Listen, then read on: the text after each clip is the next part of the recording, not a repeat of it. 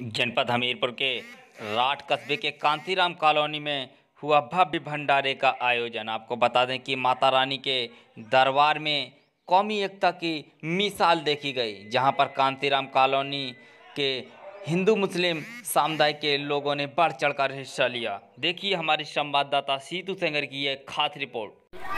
नमस्कार, मैं सीतू सेंगर। इस समय मैं खड़ा हूँ हमीरपुर जनपद के काशीराम कॉलोनी राठ में। ये कॉलोनी अपने आप में एक मिसाल कायम करती है। यहाँ पे अगर बात की जाए तो यहाँ पे हिंदू, मुस्लिम, कौमी एकता का मिसाल देखने को मिलता है। मैं आपको बताना चाहता हूँ कि मेरे जस्ट पीछे कुछ हमारे मुस्लिम परिवार के समुदाय के लोग खड़े हैं। तो यहाँ पे कुछ हिंदू परिवार खड़े हैं। और आप लोग देख रहे हैं नौ दुर्गा माता रानी का नौ दिन का ये जो पवित्र व्रत और पूजा अर्चना की जाती है इस कॉलोनी में दोनों ही परिवार कहूँ तो कम नहीं होगा। एक तरफ़ जहाँ हमारा मुस्लिम परिवार रहता है और दूसरी तरफ़ हिंदू परिवार। आज इसने एक मिसाइल काम की है काशीराम कॉलोनी में। यहाँ पे दोनों ही समुदाय के लोगों ने मिलकर इतना अच्छा भंडारे का आयोजन किया।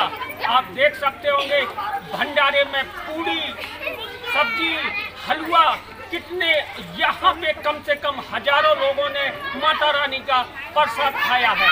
और सबसे ताजुब की बात यह है कि जहाँ पे एक और राजनीति को लेकर तमाम तरह की बातें की जाती हैं, अगर राजनीति की बात की जाए तो यहाँ पे कोई भी राजनीति हो तो मुस्लिम और हिंदू से ही शुरू होती है।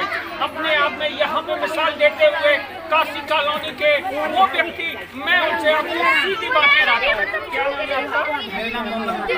मुख्तार जी तो आज आप नौ दुर्गा में ये माता रानी का भंडारा कराया तो कैसा लग? रहा है हमें बहुत अच्छा लग रहा है माता रानी की सेवा करने में और हम लोग यहाँ रहते हैं, सब लोग और सब लोग भाई बहने जितने सब मिलकर रहते हैं और हम लोगों के अंदर जात पात वाला कोई ऐसा काम नहीं हम लोग मानते हैं। हम लोग साथ में रहते हैं, हिंदुस्तान में रहते हैं तो हम हिंदुस्तानी सबसे पहले। हमारा ये धर्म है कि हम सब लोग ही आपस में भाई भाई हैं। हमें ना हिंदू से मतलब है, ना मुसलमान से। सबसे बड़ा मतलब हमारे इंसानियत से है। इस नाते हम आज माता रानी दरबार में हम लोग सब सेवा कर रहे हैं।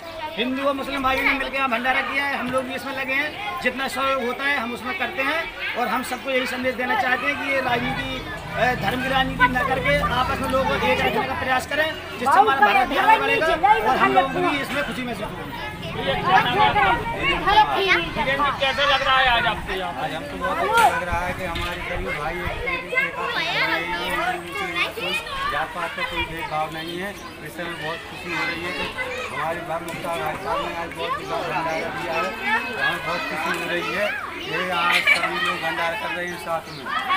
जी हाँ और अभी आपने देखा यहाँ पे कुछ लोग खड़े थे। जी हाँ है भैया नरेंद्र जी तो क्या कहना चाहते हैं आप इस भंडारे के बारे में?